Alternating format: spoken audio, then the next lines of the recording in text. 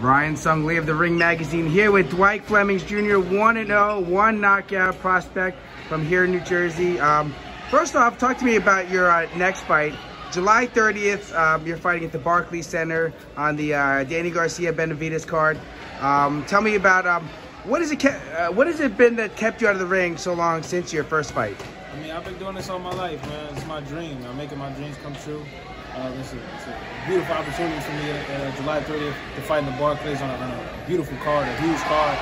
Um, this is everything I ever asked for, man. I hope it just keep it coming and keep everything going the way it is right now, man. I just keep giving them good, giving a good show and stay giving off my talents the way I the way I'm supposed to, finish them off and you know keep it going, stay consistent. Mm -hmm. And what division are you in? Um, junior, uh, super, super middleweight. All right, so 154. Uh, so, uh, so junior middleweight. Junior. Um, so you had an explosive pro debut at the Prudential Center, first round knockout, and then you had some other business to handle. You had to finish high school, right? Yeah, I just I just graduated yesterday. Congratulations! Absolutely. Now I'm full throttle with uh, professional boxing. I want to get to about 15 and 0, and I want to go back to school and just just so I can know how to manage all my businesses I, I get into during my career. Mm-hmm. So, what do you uh, plan to um, to study in, in college? Um, just business management because mm -hmm. I'm already already have open business right now. Mm -hmm. So um, I'm just looking forward to just knowing, just having the knowledge. It's just good to have the knowledge to know how to manage everything I'm going to have going in the future. And do you have a, college in mind?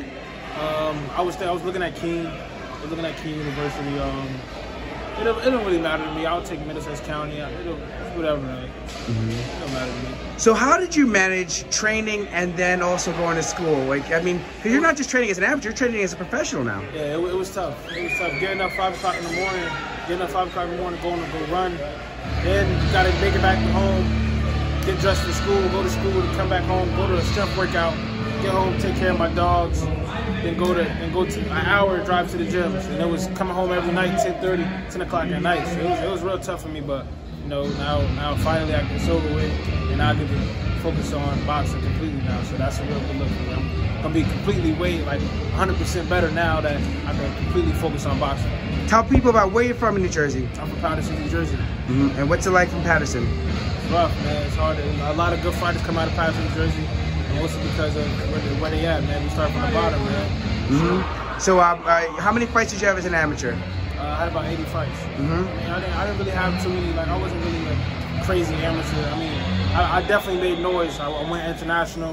I fought, everybody know me in Jersey. I put in enough work in Jersey just, everybody know my name. National, I won a few nationals. Um, went international twice. I beat some. I, I went to Hungary. I got established in Hungary. I beat a kid in Hungary, from Hungary. I went to Spain. Uh, I placed, uh, I got a silver medal in Spain. And really, really amateurs. I never really seen myself in the Olympics. And everybody every, always used to say that um, I have a pro style.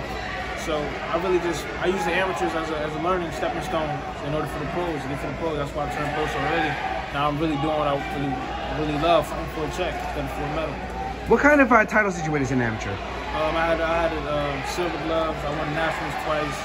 Um, I got a junior Olympic silver medal. Um, plenty of titles, plenty of diamond gloves, silver gloves, and uh, I got uh, plenty. I can't even remember. I won a national. I got two national belts. Uh, silver gloves all over. Diamond gloves in Jersey all the time. Like it was, it was, it was small to me. Mm -hmm. All right. So tell me about also. Um, you know, your father's your trainer. Your father is one of the top trainers, if not, you know, the top trainer in this area right now. He's got a lot of good pros. Yeah, um, how is that like? having your father be your trainer, um, and then also, you know, he's also your dad. I mean, it's amazing, man. It's amazing.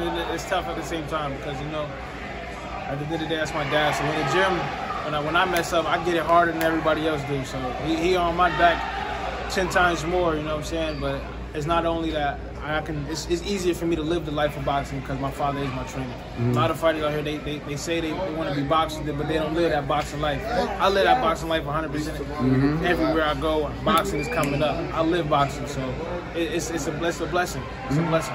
And uh, you know, you're fighting. Um, at the uh, Barclays Center. Um, tell me about that. This is a big card, Yeah. a big exposure for you. What are you hoping to do uh, in this fight, and uh, what kind of noise are you hoping to make? I'm trying to I'm trying to stop him. I'm trying to put on an amazing show, an amazing show. And that way, I can open up doors for myself after this fight. I can get calls, people seeing me. I can put on a show. You know what I'm saying? I, I just hope I, I, I hope I do amazing as as before. Um, I hope I do better than that. Um, Cause that way, that's only that way I can only go up. That way nobody miss me. Nobody can ever deny me because my, my work is, is thorough. And lastly, sorry, also one, one other thing is Shakur Stevenson. He's one of the best fighters in the world right now. He's from New Jersey. Um, are, are you are you hoping to be the next guy that carries New Jersey boxing? Absolutely. Oh, that, that's hoping. That's I'm for sure. I, I got this for sure. After Shakur, it's definitely me, man. I feel like I'm the next up. Absolutely, 100. percent